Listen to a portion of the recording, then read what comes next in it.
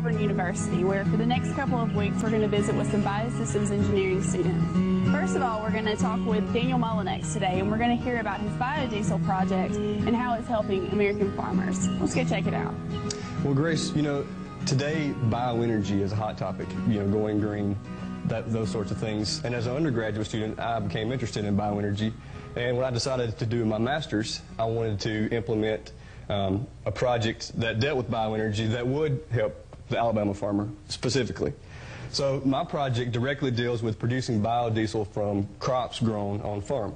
So the idea is that a farmer can grow an oilseed crop such as soybeans, canola, peanuts, cotton, crops such as those that we can grow in Alabama. Um, canola is not grown as much as, as some of the others, but it can be used as a winter cover crop in place of winter wheat. And it's excellent, excellent oil producing crop. So farmers can use those crops, grow those crops, harvest them, press those seeds in mechanical screw press, extract the oil, take the oil to um, their biodiesel processor, process the oil, and make it into biodiesel through a process called transesterification. And they can take that biodiesel and use it on farm in their equipment. Um, how um, available are those production facilities? Is that going to be an obstacle that you'll have to overcome?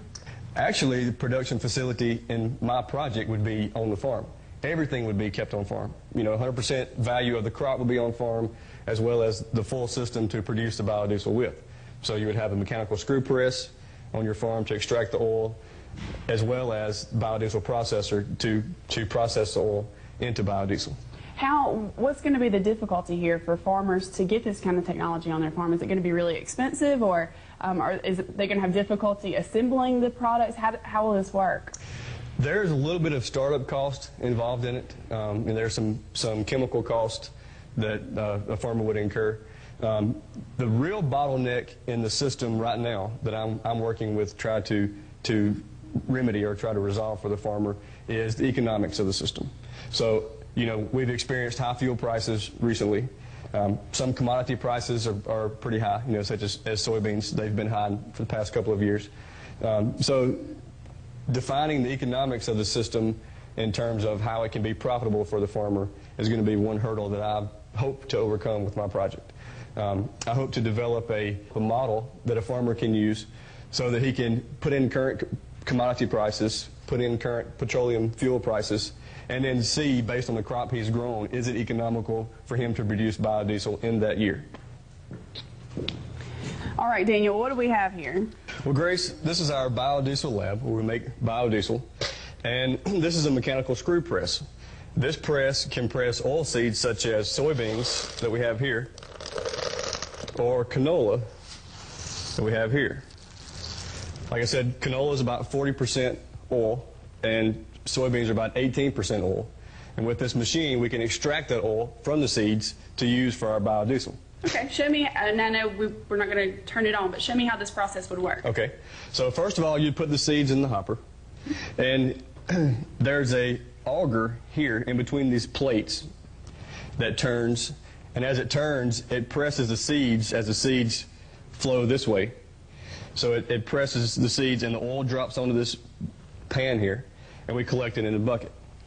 And then the cake part of the system, the cake comes out the end, and that's the part that we can feed to cattle or to livestock. Now, just as a point of reference, if I were to pour this whole thing of canola seed in here, how much oil would I get out of this? Theoretically, you should get 40% by weight of whatever that weighs. Okay. And the, the waste comes out at what point? At what? The cake comes out here on the end. And that can be used to go back into. That can be okay. used to go into livestock feed. All right. Now the byproduct after the oil comes out, you have cake that's left over. Tell me, tell me about the cake that you have here.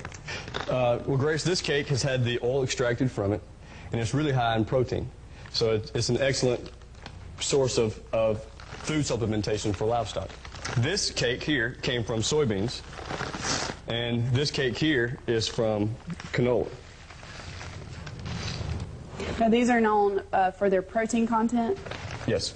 So, That's a farmer can kind of get a dual purpose out of one of his, his crops if, if this is possible to come out of this. Exactly. You know, the, the main goal of this is to, first of all, lower the fuel bill.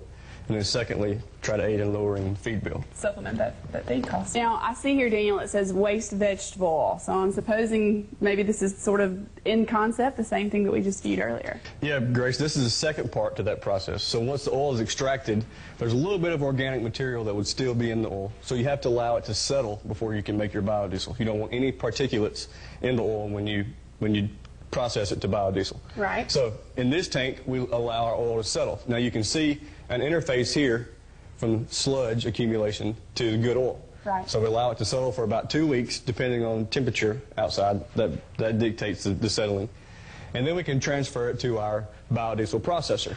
So Grace, once the glycerol separates from the biodiesel and we drain it off, then we have to remove our excess alcohol that we added. So we add twice the amount of alcohol that we need for the reaction to take place. So we'll heat the biodiesel back up to above the boiling point of alcohol. We'll drive the alcohol off and collect it to recycle it later.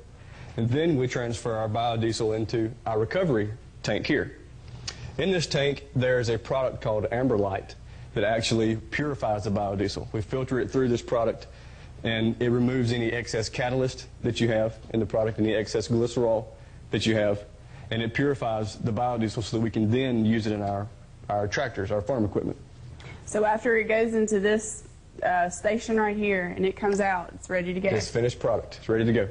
All right. And again, this would be uh, the containers that you just showed us, and then this process right here would be another um, part of the equipment that farmers could have on their farm. Yep. So with those and then the oil seed press that we saw earlier, all of that can produce this. Sure Just can. simply those things. Yep. Simply those That's things. That's pretty remarkable.